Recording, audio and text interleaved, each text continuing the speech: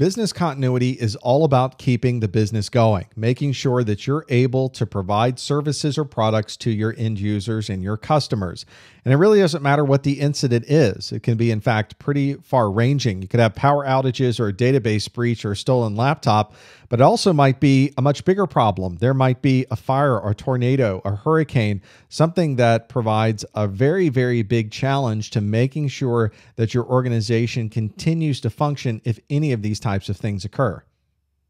To get a better handle on what that means, you should start with analyzing what would happen if certain things occur. What are the critical business functions in your environment? You need to understand what your primary business objectives are, and you need to make sure those are documented somewhere and that you understand what that might be. If you're not able to produce a particular product, you're not able to have people in a building, or if you happen to lose a database, you need to understand how that's going to affect the overall business of what you're doing in your organization.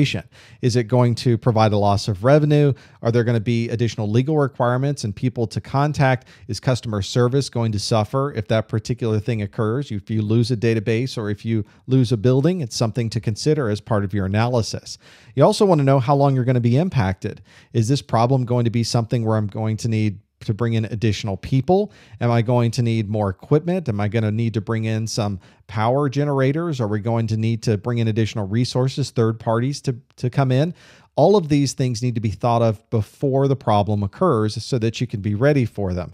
And ultimately, you need to understand we have a, a, bottom line, we have either a service we're providing or a profit that we're trying to make. How is this going to affect us? And if we're going to invest the money in recovering from a disaster, is are we really going to see that back in the in the final bottom line to our organization? And that's the business decision that has to be made by everybody being able to invest in disaster recovery is very often a very expensive thing. It's not trivial to be able to do disaster recovery, to plan, to buy the resources, to test.